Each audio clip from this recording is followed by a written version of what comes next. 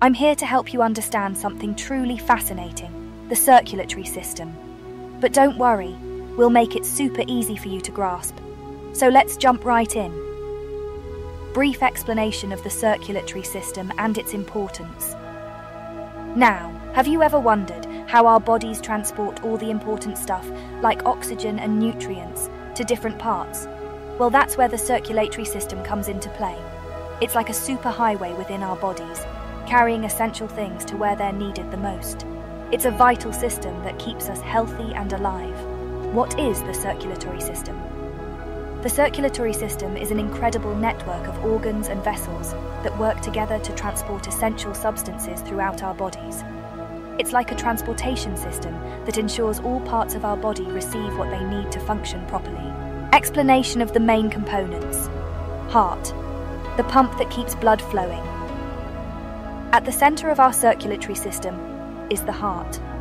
Think of it as a powerful pump that never takes a break. This muscular organ is located in your chest, slightly tilted to the left. It's about the size of your fist and beats around 100,000 times every single day. Its main job is to pump blood throughout your body, delivering oxygen and nutrients to all the different parts. Blood vessels, tubes that carry blood throughout the body. Now imagine your body is a big city, and the blood vessels are the roads that connect all the buildings together. These blood vessels come in three different types arteries, veins, and capillaries.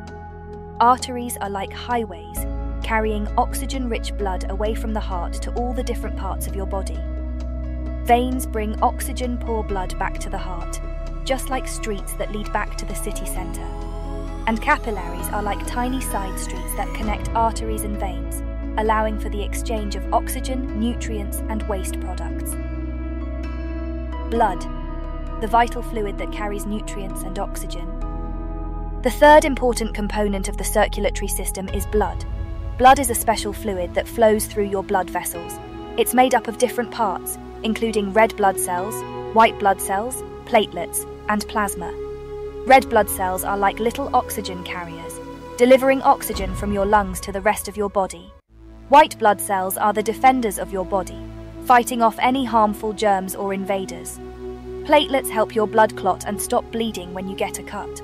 And plasma is the liquid part of your blood, carrying nutrients, hormones, and waste products. Description of the heart structure. Chambers, atria and ventricles. The heart is divided into four chambers, two on the top and two on the bottom.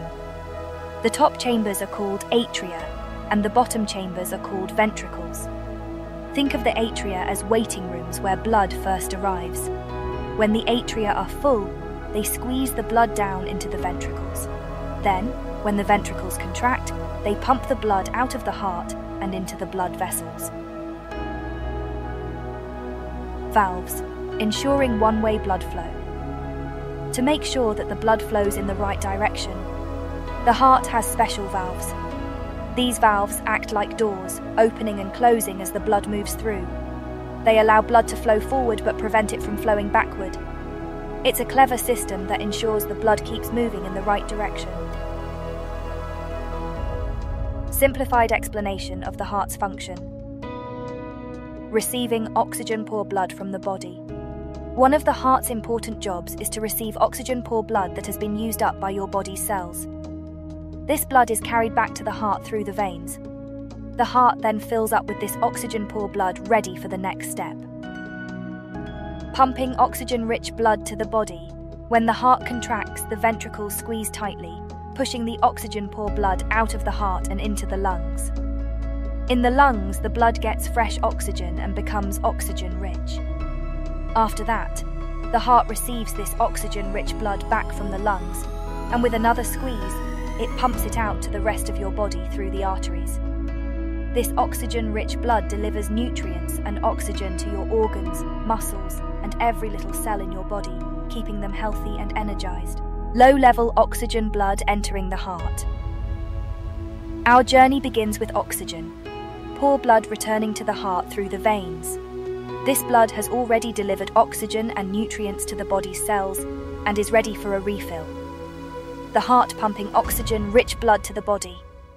Now, It's time for the heart to do its magic. With a powerful contraction, the heart pumps the oxygen rich blood out through the arteries. This blood travels through the arteries, branching out like a vast network of roads, reaching every part of your body. Oxygen poor blood returning to the heart.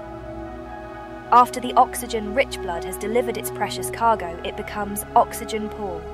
The veins collect this oxygen poor blood from all parts of your body and bring it back to the heart. It's like a return journey, bringing the used up blood back to the heart for renewal. The heart pumping oxygen rich blood to the lungs for oxygenation. Now the heart prepares for another round. It pumps the oxygen rich blood to the lungs, where it will receive a fresh supply of oxygen.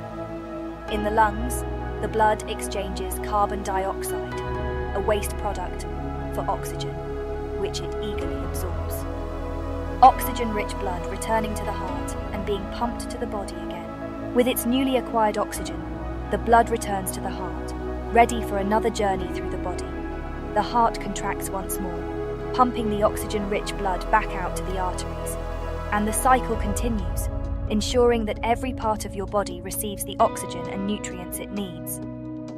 In conclusion, the circulatory system is a dynamic and interconnected system that ensures the continuous supply of oxygen, nutrients, and waste removal throughout our bodies.